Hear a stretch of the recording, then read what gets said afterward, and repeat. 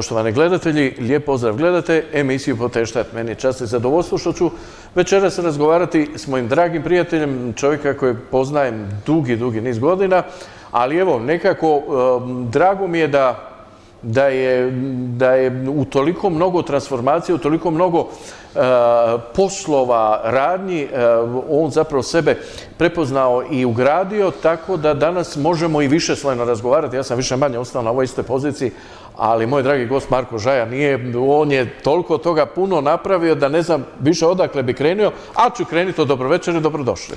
Dobro večer, e, Robi, i veliki pozdrav svim gledateljima. Marko, prije svega čestitke. Mislim, čestitke na puno toga, ali na ovoj doktorskoj dizertaciji to mi je baš onako nekako slatko. To, mi, to baš od srca čestitam. Je, hvala od srca. E, evo, dugo je trajao taj proces. To je zapravo jedan prilično zahtjevan projekt koji je po prvi put u svijetu napravljen, jedan multidisciplinarni rad koji obuhvaća puno područja osim biokemije, športske medicine, naravno kineziologije i športa.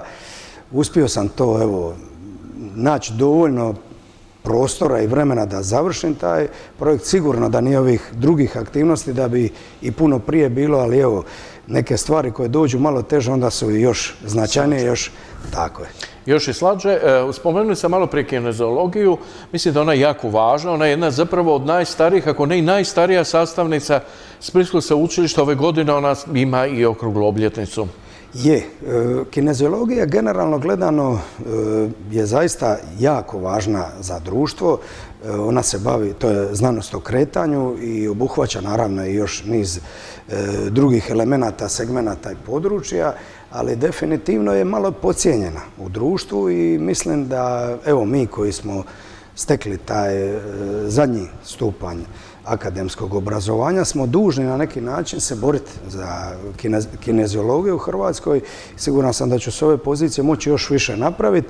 Recimo, činjenica da u nižim razredima osnovne škole nemamo tjelesni kao redovni predmet. E, ja bih predložio i vrtić, pa čak i jaslice, zapravo kretanje je potrebno ljudskom tijelu. Znamo koliki je problem pretilosti iz kojeg kasnije nastaju sve ove zločutne bolesti, tako da mislim da definitivno kineziologija zaslužuje puno više prostora u, društvu. vi ste čovjek koji, evo, kroz politički angažman, pa evo i kroz nacionalni angažman, ipak imate e, e,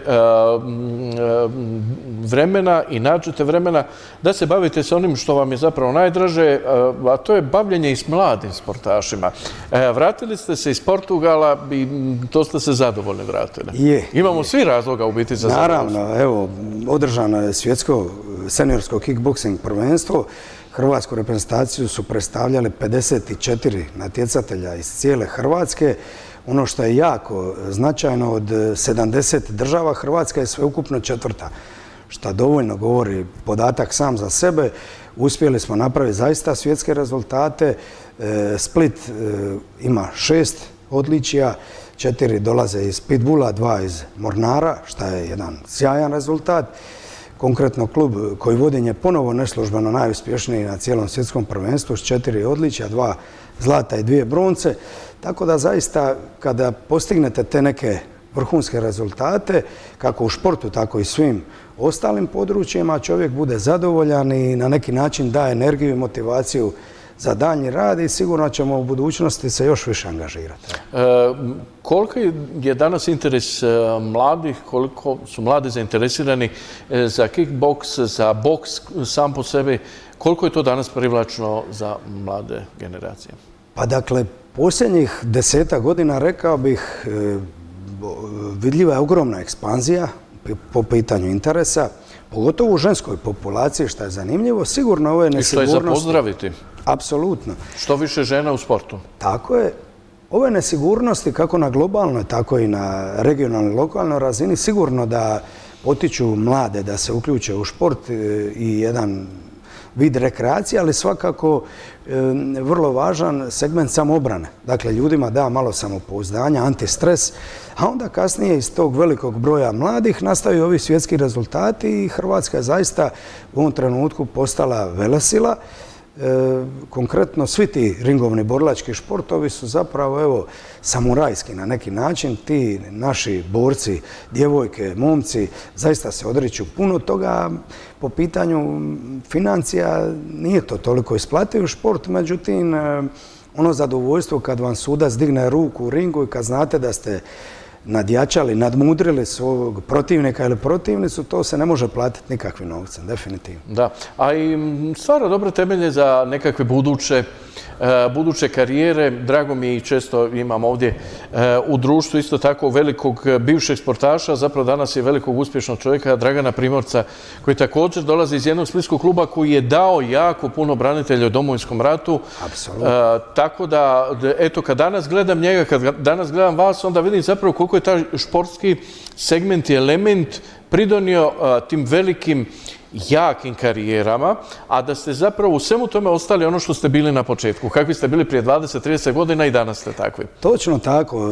Dragan Primorac je bio izvrstan tekvando borac i voditelj kluba tekvando e, Kucunar Topers, ako se ne varam, još i prije početka domovinskog rata.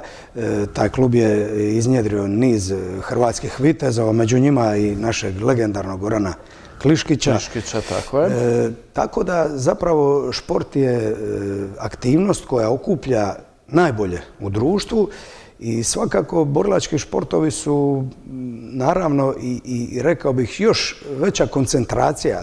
Samo treba naravno usmjeravati tu silnu energiju u pravom smjeru. U posljednje vrijeme veliki broj e, natjecatelja iz borilačkih športova ide i u smjeru sigurnosnih službi, policije, vojske, zaštitara, tako da na neki način jačamo i društvo. Ta silna energija se usmjerava u kvalitetnom smjeru, cure i momci završavaju i visoke škole, i fakultete, radnici i na neki način zaista idemo u jednom vrlo dobrom smjeru. Mislim da treba još bolja suradnja između države i jedinica lokalne samouprave sa borilačkim klubovima i to je nešto na čemu trebamo baciti naglasak u idućem periodu. Da. E, evo sad ćemo se malo iz sporta e, približiti politici. Ostajemo u domeni prezimena Primorac. E, Željko Primorac novi je pročelnik novog županijskog odjela za kulturu, tehničku kulturu i šport i eto, gled čuda, svi mediji, ovi što ih popularno zovemo, nećemo mainstream, nego live stream, ali ne samo oni, već i cijela jedna medijska pozornost u tom trenutku skrenula zašto Željko Primorac, zašto na tom mjestu, iako je to, kada pogledamo gospodina Primorca, poprilično i logično. Pa, gledajte, Robi, mislim da čak još uvijek i nije e, odluka e, župana stupila na snagu, ali po svim ovim kandidatima rekao bi definitivno e, Željko Primorac je e, najveće ime, najkvalitetnije ime, osoba koja ima i obrazovanje i struku. Dakle, u području kulture mislim da je jedan od najboljih e, kandidata, ne, ne bih rekao samo u našoj županiji, nego i u Hrvatskoj. Ima ogromno znanje, iskustvo i vještine i ja se iskreno nadam da će to tako i biti njegov jedini krimen nazovije što je član domovinskog pokreta i to je zapravo ono što zabrinjava u društvu. Postoje pojedini zastupnici u županijskom parlamentu koji su toliko agresivno napadaju domovinski pokret da idu toliko daleko da zapravo e, traže da članovi domovinskog pokreta ne smiju biti ovo ili ono. Ja se samo pitam da te ljude priupitamo da na neke druge teme traže neke druge ljude da ne mogu biti ovo ili ono, bili to prošlo nekažnjeno ili ispod radara. To je dakle alarmantno. Agresija koju pokazuju ti, lijevi, rekao bi, lijeve strukture, zaista poprimila alarmantne dimenzije i u društvu nam svima skupa treba zaista puno više razumijevanja, a ne agresije i isključivosti. Kako je to moguće ako te, ti e, jednostavno pripadnici tih i takvih politika govore kako su oni tolerantni, kako žele toleranciju i tako dalje. Zašto toler, e, kakva je to uvjetna tolerancija? Je li tolerancija može biti uvjetna, pa sad ima, e, znate, možemo biti tolerantni sve skupa, ali domovinsko pokret ne. Ko je taj koji, koji udara tu granicu i stvara uvjetnu toleranciju? Toleranciju? Strašno, strašno, Robi. Dakle, ta priča, zapravo mislim da smo čak i nedavno imali slične teme kad smo razgovarali, je zbilja onako, blago rečeno, nekorektna i uvjetovana tolerancija kao pojam ne bi smjela postojati. Ako smo tolerantni, onda bismo trebali biti tolerantni, naravno da ne uključuje nekakve radikale, ekstreme, ali za sve e, ljude da budu pravila ista, a ne da se neke sotonizira, napada, naziva radikalima ili ekstremistima samo zato jer pripadaju nekoj političkoj grupaciji koja u ovom trenutku predstavlja sigurno preko 10% stanovništva Hrvatske. Ja sam siguran da je ta brojka kudikamo i veća i zaista kad gledam koliko se nas ti takozvani mainstream medija, zapravo left stream mediji, i pojedinci obrušavaju na nas, vidim da smo na dobrom putu, vidim da je ispred nas sigurno svjetla budućnost i promjene u hrvatskom društvu koje su nužne. Dakle, mi moramo korijenito resetirati ne samo mm, našu, naše područje, nego Hrvatsku, a rekao bih cijelu Hrvatsku, a rekao bih i puno šire. Jer svijet zaista ide u lošem smjeru i osjeti se i na međunarodnoj razini da ove politike suverenističke, konzervativne preuzimaju jedan, jednu puno veću ulogu. Vidjeli smo sad i nizozemsku nedavno. Mislim da je došlo vrijeme korijenitih promjena. Jer ovaj smjer koji ide takozvana zapadna civilizacija, mislim da je loš i da vodi nestanku. Definitivno. Da, ali evo ovo je interesantno, ovo što ste vi rekli zapravo e, domovinski pokret na neki način se targetira kao neko ko je ekstreman, ko ko je radikalan, ja ne znam više šta, Mislim, ne postrojavate ljude su u uniformama, nemate vojne kampove i tako dalje. Mislim što zapravo svaka radikalna organizacija ima. S druge strane, gradonačelnik Vukovara Penava, kojeg opet su nazivali ne znam kakvim sve riječima i tako dalje, zapravo je do sad napravio najveću i najdostojanstveniju kolonu sjećanja u Vukovaru, to je činjenica, Dakle, kome vi zapravo smetate kao takvi? Pa evo ovako, e, moj stav je vrlo jednostavan. Zapravo, mi imamo vrlo jasne politike i od njih nismo odstupali i od njih nećemo odstupati. Radikali nismo, ekstremi nismo, ali da predstavnici e, agresorskih, četničkih ideologija rukovode lijepom našom, Hrvatskom, Nama je neprihvatljivo. Dakle, nemamo problema sa bilo kojim manjinama, pa tako naravno ni sa našim e, sugrađanima srpske narodnosti, ali četnička ideologija, ljudi koji su sljednici četničke stranke SDS, definitivno ne smiju voditi Hrvatsku državu. Marakeški sporazum i sve implikacije koje je donio u društvo gdje se preko granica prolazi kako ko hoće, e, ulaze na ljudi o kojima ne znamo ništa. Možda i pripadnici terorističkih organizacija za nas je neprihvatljiv. I to definitivno ne smije biti dio hrvatskog društva.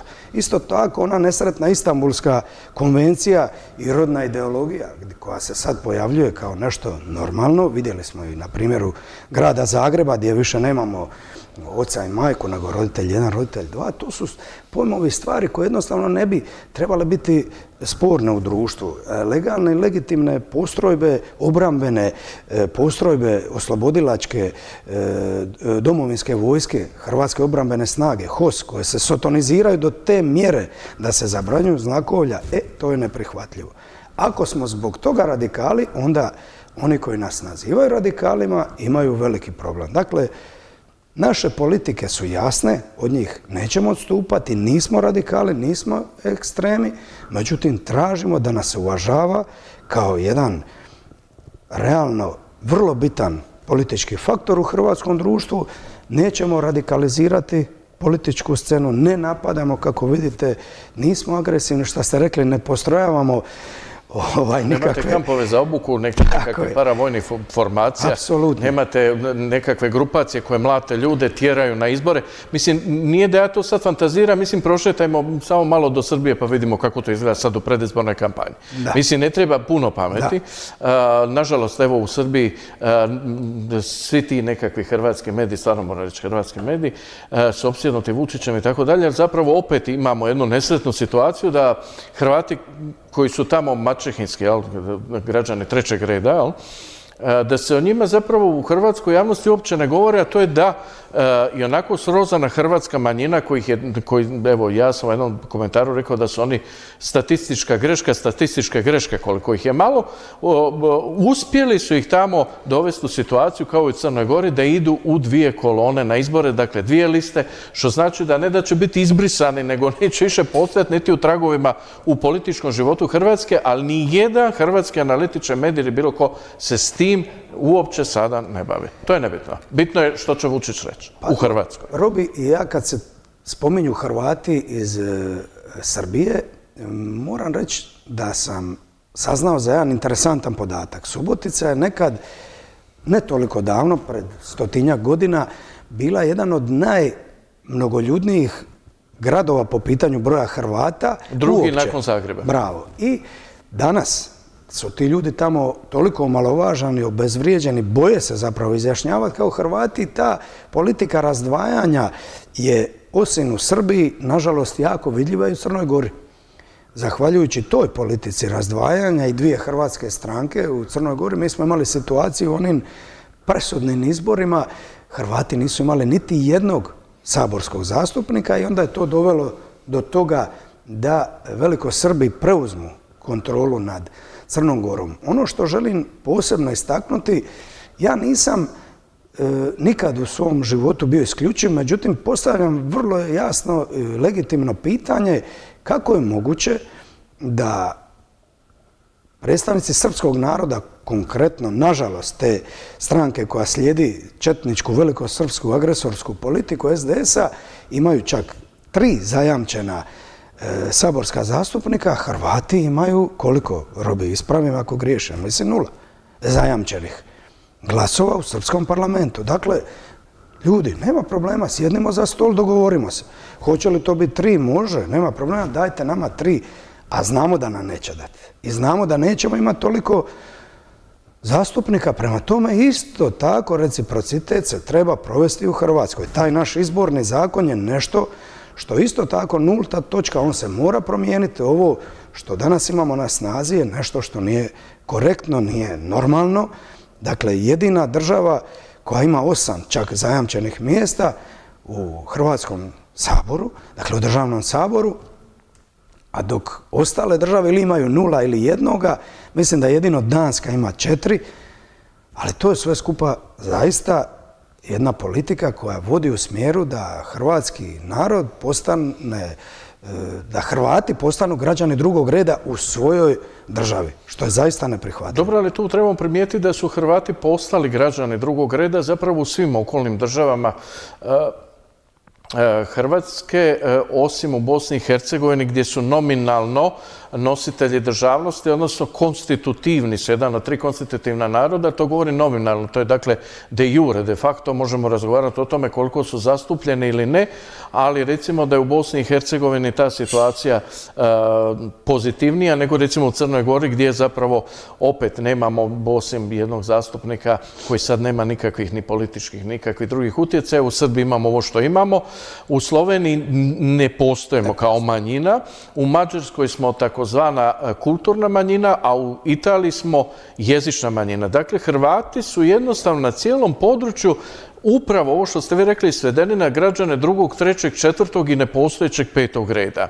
Koliko e, hrvatska politika kroz hrvatsku diplomaciju treba, mora i može promijeniti tu paradigmu s obzirom na to da je Hrvatska i dalje daleko naj po BDP-u i svemu što je zapravo čini u statusnom smislu članicu Evropske unije i tako dalje e, NATO pakta, pakta Schengena, eurozone, koliko ona zapravo svojim utjecajem može promijeniti to stanje da Hrvati zaista više nisu u tom statusu koji nisu? A ja bih rekao ne samo da može, nego i mora. Dakle, spomenuli smo malo prije Bosnu i Hercegovinu, svi znamo koliko je važno biti naš narod, uz Hrvate u Bosni i Hercegovini, koji su, bez obzira što su konstitutivni, zapravo izgubili one temeljne svoje temeljna svoja prava, pa tako i na pravo na biranje člana predsjedništva zbog tog nakaradnog izbornog zakona. Mi kao članica Europske unije definitivno možemo i moramo puno više raditi u prvom redu kad je pitanje Hrvata u Bosni i Hercegovini. Znamo da je kroz stoljeća koliko su Hrvati imali važan utjecaj, koliko su hrvatski kraljevi zapravo vladali Bosnom i Hercegovinom, koliko je to zapravo povijesno gledano hrvatski teritorij, pa čak i izvaci iz katastarskih knjiga iz povijesti govore koliko smo mi značajno zapravo imali i teritorijalnu i političku e, moć i snagu, a danas nas se pokušava istisnuti. Dakle, mislim da je pitanje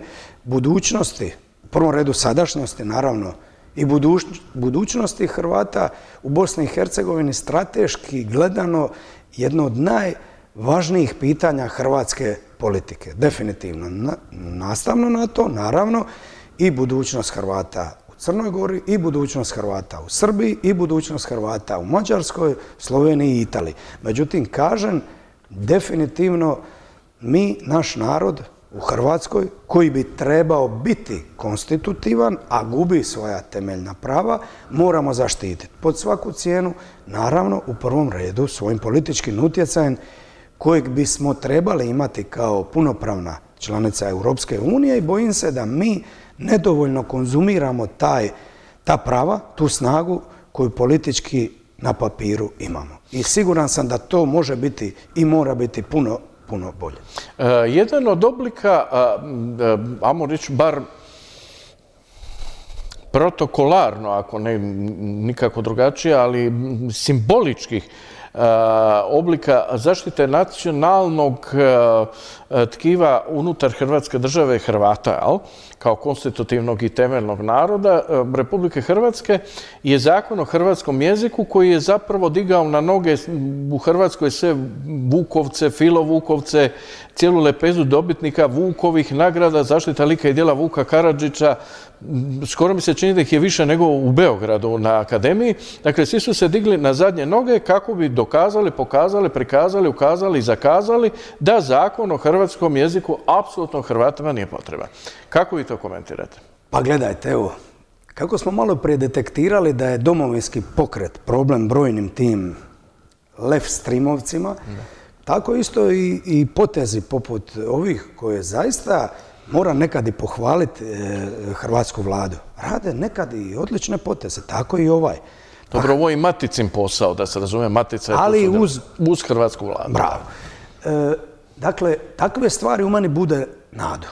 Bude nadu da će i stranka koja je trenutno glavna e, snaga u Hrvatskoj naći snage da se resetira.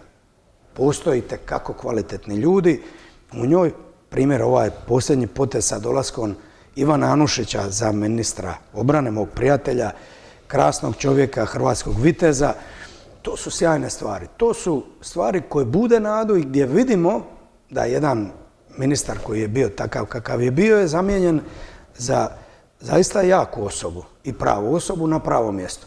Pa tako, evo, sad kad pričamo o hrvatskom zakonu... Zakon o hrvatskom jeziku. Tako, zakon o hrvatskom jeziku. Zakon o hrvatskom jeziku je nešto što je nužno potrebno. Daću samo jednu malu epizodu sa protekle županijske sjednice Skupštine gdje su naši e, zastupnici sa lijeve strane, naravno, e, županijskog parlamenta izlazili za govornicu jedan za drugim i koristili riječi tuđinske, većinom srbizme, pa smo upozoravali s ove druge strane i tako dalje i razgovarajući sa e, kolegama desne strane zaista smo došli do zaključka da bi bilo vrlo važno da se uključi možda i nekakav ekspert u rad naših skupština i da ukazuje na nepravilnosti tijekom sjednica kada koristimo tuđe riječi komunicirajući prema javnosti, jer županijski parlament je vrlo važno tijelo. A da ne govorimo o Hrvatskom državnom saboru, kada primjerice predstavnici SDS-a govore na čistom srpskom jeziku. To je za mene neprihvatljivo. Neka izvole nabaviti prevoditelja. Ja ne želim da moji sinovi i kćer slušaju srpski jezik kao službeni u Hrvatskom državnom saboru.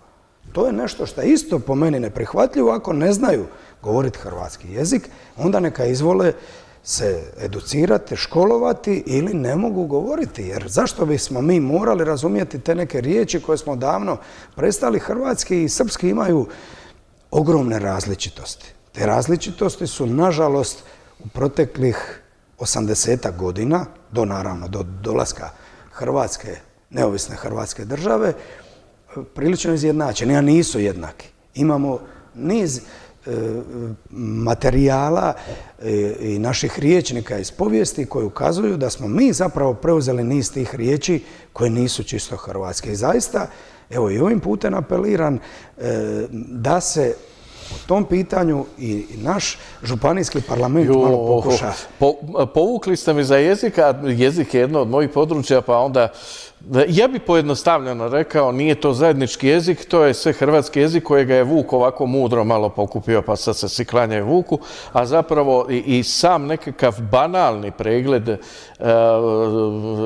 spisa može, može nas dovesti do toga da vidimo kako je upravo ova gramatika koju danas koristimo, hrvatska gramatika hrvatskih gramatičara koji su to riješili čak četiri stoljeća prije dolaska Vuka i srpskog preuzimanja te iste gramatike, da ne govorimo o E, starocrkvenim zapisima sa srpskog jezika kojeg ni sam Srbi ne bi mogao razumjeti, ali i kako razumijemo ono što govore Hrvati još u srednjem vijeku, dakle od Marulića pa nadalje, pa samim tim nema spora da se, se ukupno radi o hrvatskom jeziku.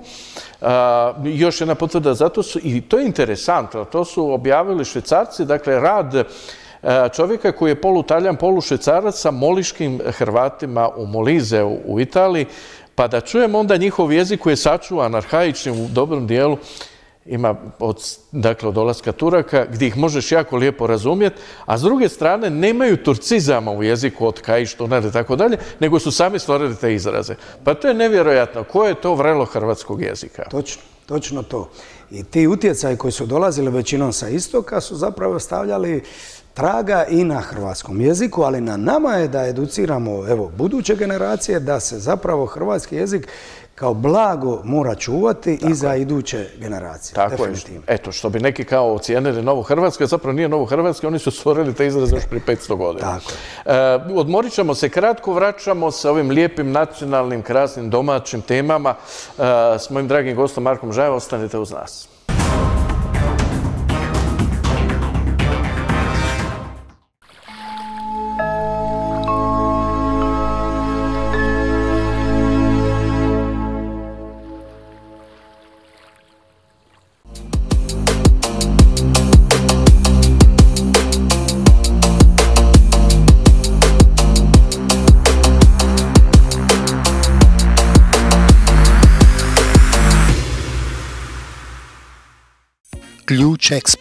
Kralja Zvonimira 103. Najmodernija radnja specijalizirana za izradu ključeva za stan, sef, potom za automobile, motocikle, brodove, autobuse, kamione te specijalne i kodirane ključeve. Ključ Ekspert, izrada ključa prema bravi, adaptacija brave prema ključu, prodaja brava, kvaka, lokota, sustava master, više brava na isti ključ. Ključ Ekspert. Antibakterijski hen gel s dodatkom aloe vera obogaćen vitaminima A, D i E. Uništava 99,9% virusa i bakterija. Biocidni pripravak u svim ljekarnama. Voda s kisikom. Snaga prirode. Uff.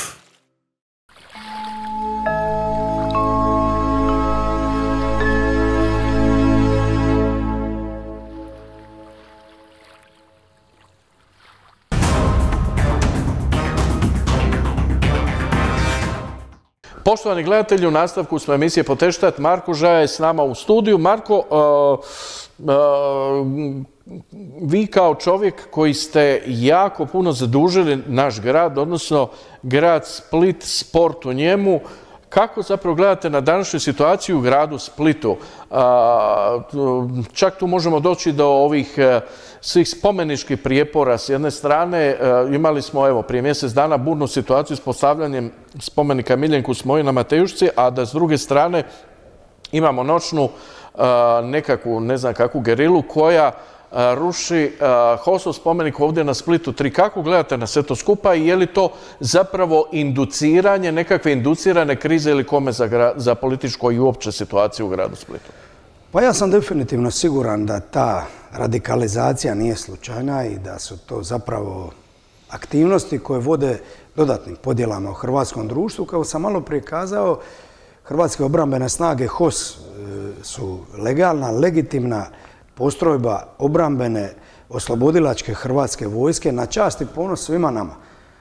E, postrojbe HOS-a nikada nisu počinile ratni zločin i postrojbe HOS-a su zaista nešto čime se svi skupa trebamo ponositi. Naravno, u sve ostale postrojbe Hrvatske vojske, da ih ne nabrajam sada, ali zaista proteklih godina su one bile najviše na udaru i to je ono što zabrinjava. Dalje, spomenuli ste spomenik Miljanku Smoji, e, držim da treba odvojiti taj umjetnički dio, a onda i onaj svjetonazorski, ideološki i politički gdje on se svrstao na stranu agresora, na stranu Slobodana Miloševića, e, krajem 80-ih, početkom 90-ih godina i time je jako kompromitirao sve ono dobro što je eventualno radio kao umjetnik. Međutim, kad je u pitanju umjetnost, držim da je Oliver Dragojević, primjerice pjevač, kojeg... Umjetnik uopće, da. Uopće, možda i najveći, koji je ogroman dio svog života proveo u Splitu i kroz Split, puno zaslužnija osoba da se iz tog umjetničkog aspekta njemu naprave spomenik i mislim da smo tu jako On je zapravo i naj, složit ćemo se najveći simbol Splita, bez obzira što nije rođeni Splitčanin, ali je zapravo Oliver Dragović najveći simbol Splita i mislim da ne postoje niko ko Tako je. živući ili ne živući koji u ovom trenutku može reći da je veći simbol od njega. Bravo. I to je taj umjetnički aspekt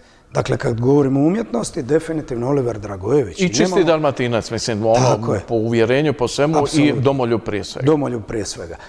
Dok, kažem, e, po pitanju smoje, smo rekli, e, ako ćemo gledati kroz umjetnost, ima zaslužnih, prvi Oliver Dragojević, a po pitanju svjetonazora, ideologije, ideala, ljudi moji, o čemu pričam? Dakle, Hrvatska je neovisna, Hrvatska je samostalna, Hrvatska se krvavo uspjela osloboditi od e, okupacije, od agresije, a on je u vrijeme kad se to odlučivalo bio na drugoj strani.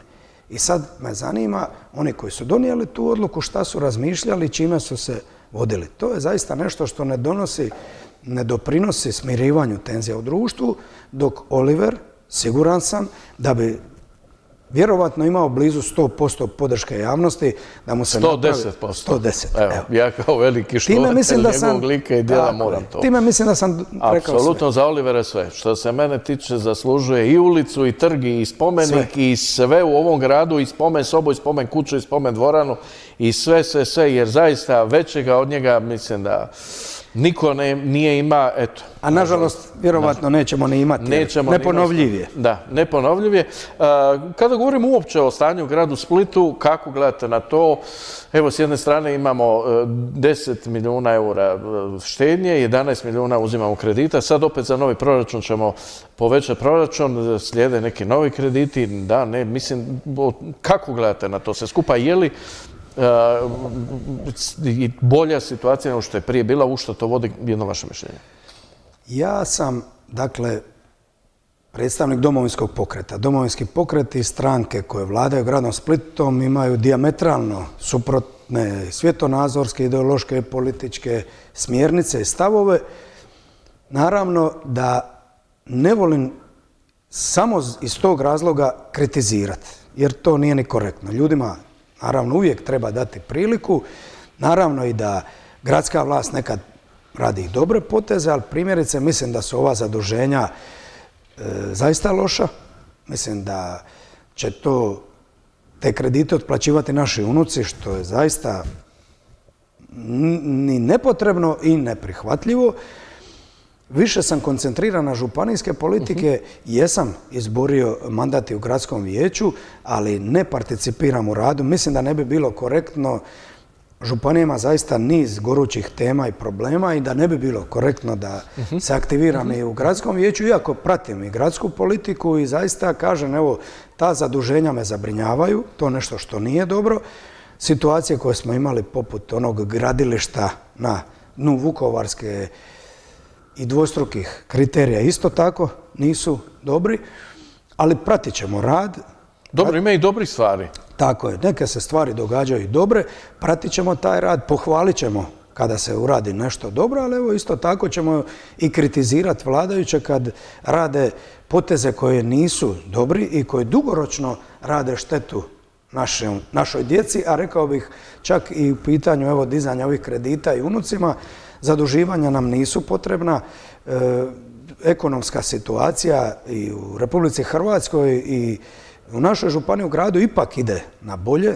Korona nas je sve uzdrmala, ali mislim da nije vrijeme bilo da se dižu dodatni krediti. E, vi ste rekli da ste dosta involvirani u politike, politička pitanja i uopće pitanja koja su važna za Splitsko-Dalmatinsku županiju, probleme koji su tu.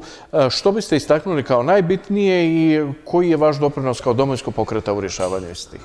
Gledajte, e, mi smo u vladajuću većinu Splitsko-Dalmatinskoj županiji ušli 2021. Bilo je puno problema. Bazirali smo se na probleme koji se tiču ipak društvenih djelatnosti, prvom pitanju prosvjete, dakle obrazovanja, kulture i športa, odnosa prema hrvatskim braniteljima i mislim da smo tu napravili jedan veliki iskorak. Kontinuirano razgovaramo sa izvršnom vlasti u Županiji, moram pohvaliti zaista izvršnu vlast, jer na niz naših amandmana, prigovora na e, određene stavke u proračunu reagirali su pozitivno. I mislim da i narod u Županiji osjeća te promjene, Imamo ispred sebe još godinu i po dana, niz projekata je ispred nas, niz amantmana je realizirano, a neki još nisu, koji su u procesu i mi, kažem, u kontinuiranom procesu komunikacije sa izvršnom vlasti, vlasti sa županom i dožupanima, dakle Blaženkom Bobanom, Anton Šošićom i Stipom Čogeljom imamo praktično skoro pa dnevnu komunikaciju. Radimo na tome da ta izvršenja naših amandmana i projekata se ubrzaju. Naravno da nije lako, na sve nas je delovala ona faza, e, uhvatili smo i onaj završetak COVID krize sigurno da nije lako, ali vidi se svjetlo na kraju tunela i kad se podvuče crta nakon četiri godine mandata našeg, mislim da ćemo biti tekako ponosni. I onda ćemo napraviti jedan sveobuhvatni presjek i analizu svih onih projekata i stvari koje smo dobri, dobrih odradili za županiju, može li bolje? Može. Dakle, mi u županiji Splitsko-Dalmatinskoj imamo dva e, vijećnika, to su Ivica Kukavica i ja. I sa dva vijećnika mislim da smo napravili puno toga. I da nas slijedi još puno projekata i kažem, kad se bude bližio kraj mandata, napravit ćemo vam presjek analizu i mislim da ćemo i takako svi skupa biti ponosni. E, Marko, vi se e, isto tako sigurno ozbiljno pripremate i za ovu super izbornu godinu.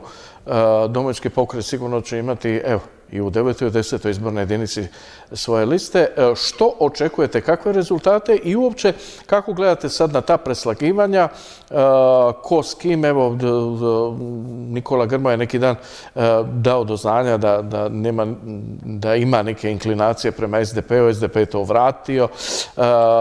S druge strane imamo evo situaciju sa Možemo, s njima bi SDP, ali ne bi Most, ne bi niko, bi neko i tako dalje. S treće strane imamo, recimo opet u svim tim medijima, predstavljanje jedne od čelnica Možemo kao buduća premijerka, oni imaju manju podršku birača nego vi, pa mislim, zašto onda nekoga od vas se ne predstavlja u svim tim medijima još više kao budućeg premijera? Mislim, ni to mi nije jasno, jer mislim, bar sam ja učio u osnovnoj školi da je matematika egzaktna znanost, pa broj je broj, jel? Pa kako ona sad sa najmanje glasova može biti premijer? Pa evo ja bih to krenuo bi od kraja pitanja, odnosno od završetka. Ja pitam matematički, e, Dakle, prvo su određeni pojedinci u politici, pogotovo s lijevog političkog spektra, dobro pobrkali lončiće i oni zapravo brkaju pojmove. Dakle, ovo nisu izbori za, premijera, nego su to izbori za Hrvatski državni sabor. Onaj koji bude imao većinu mora između sebe dogovoriti tko je osoba koja će biti na čelu kolone. Naravno da mi imamo našeg predsjednika Ivana Penavu namjer, naravno da imamo i zamjenika predsjednika Marija Radića koji su i kako sposobni biti na čelu te kolone, ali mi nećemo kandidirati premijera, jer ovo nisu izbori za premijera.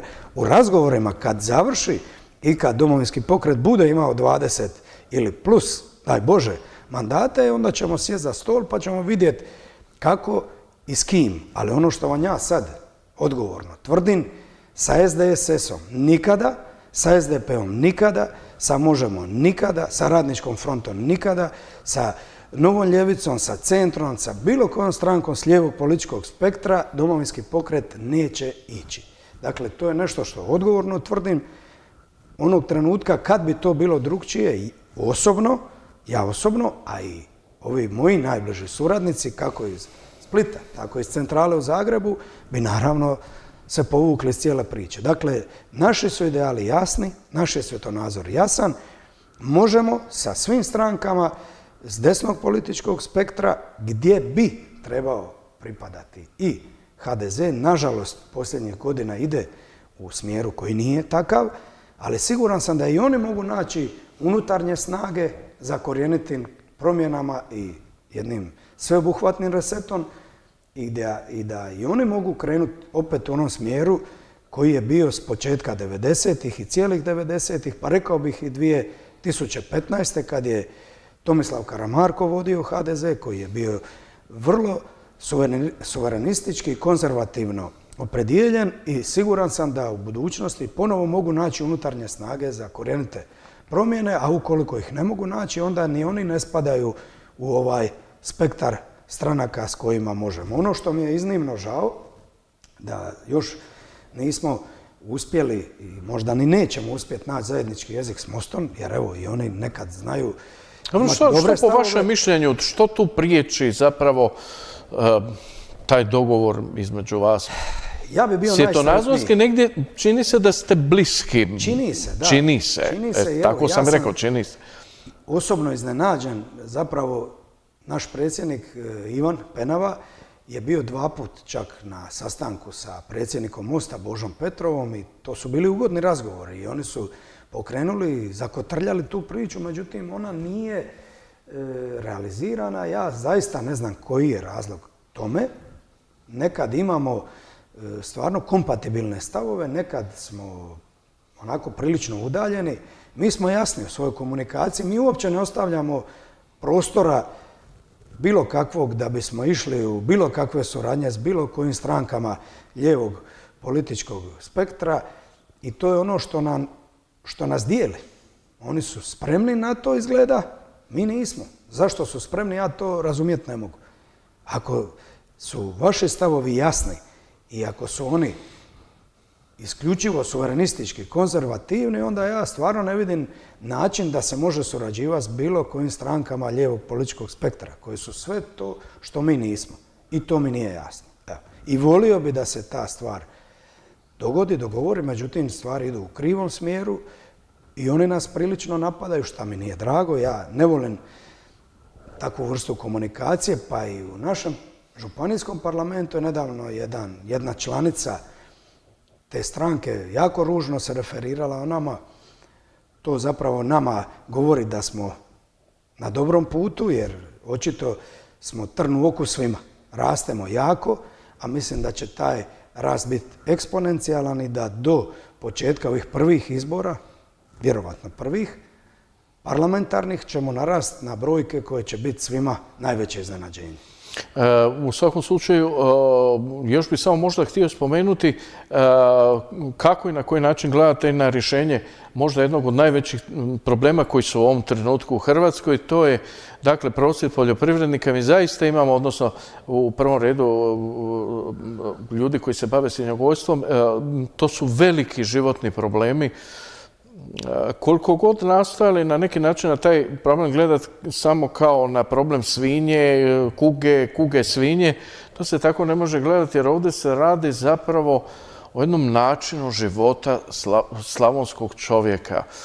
Taj slavonski čovjek je toliko propatio kroz svoju prošlost. Mislim, tu se mi dalmatinci stvarno možemo i trebamo suosjećati sa slavoncima, oni su toliko puta gažani, zgažani, pregažani, demoralizirani, udarani, šutani, a oni zapravo, oni baštine jedan svoj način života i e, kako i na koji način pronaći jedan kompromis između stvarno realne situacije da postoji problem, ali s druge strane i pomoći tim ljudima. Ti ljudi često govore, vi nama sad date novce za tu ubijenu svinju, ali jedna ubijena svinja znači malo krme iduće godine koje treba narasti još godinu dana, te hraniti i tako dalje. Dakle, ti sad prekidaš jedan lanac koji se ne može nadoknaditi u naredne tri godine, a to je život nečiji. E, evo, tema je grozna. Tema je teška. Mi ne da se možemo, nego se moramo solidarizirati sa seljacima u Slavoniji. Ta sudbina koju oni sad proživljavaju, vrlo slična sudbina čeka i našu Dalmatinsku Zagoru i sve naše seljake. To je crta ispod koje se ne smije ići. Ne smijemo dozvoliti da se naš narod tamo terorizira zbog nekih briselskih ciljeva. Međunarodnih centara moći koji žele iseliti hrvatsko stanovništvo. Razlozi se otprilike naziru za to i mi to ne smijemo dozvoliti. Dakle, ono što posebno pazim je da ne palamudi na temama koje dobro ne razumijem. Međutim, dovoljno sam načitan da mogu shvatiti jednostavne stvari koje se valjaju iza brda. Ne može mi niko reći ta afrička svinska kuga, koliko sam čuo, apsolutno neopasna za ljude. I da postoji zdravorazumsko objašnjenje da se zdrave svinje eliminiraju, ubiju i prekidaju robi, kako si sjajno rekao, taj lanac mladih kasnije koji bi se trebali kroz godine ovaj, Znači, to su sigurno tri izgubljene godine za svaku seosko dovećinstvo. Nema opravdanja. Nema opravdanja, Robi, i to je crta ispod koje se ne smije ići. Dakle, šta to znači što će država dati milostinju tim seljacima par stotina ili tisuća eura? Ma šta to znači? Iduće godine ne znači ništa. To je neprihvatljivo. Dakle, uskoro slijedi i prosvjed podrške slavonskim seljacima. Ono što me posebno zabrinjava, to je činjenica da imamo tamo granična područja sa Mađarskom, gdje mađarska sela nemaju te probleme. Dakle, imaju Viktora Orbana, koji je tvrdo i čvrsto zauzeo stajalište obrane mađarskih seljaka i ne dozvoljava tim e, briselskim birokratima da uništavaju budućnost mađarskih seljaka. Nama to nedostaje. Nama to nedostaje. Nama nedostaje pravi lider, pravi vođa koji će doći u Brisel i reći dosta je bilo. Dosta je bilo ljudi. Ne možete zdrave svinje ubijati zato što je, ne znam, par kuća dalje ili par sela dalje nestalo, e, pojavila se ta afrička svinska kuga. To je neprihvatljivo. Dakle, to ne može biti. Načina i rješenja ima i oni isključivo podrazumijeva podrazumijevaju opstanak Hrvata u Slavoniji. Dakle, malo prije smo se dotakli Bosne i Hercegovine.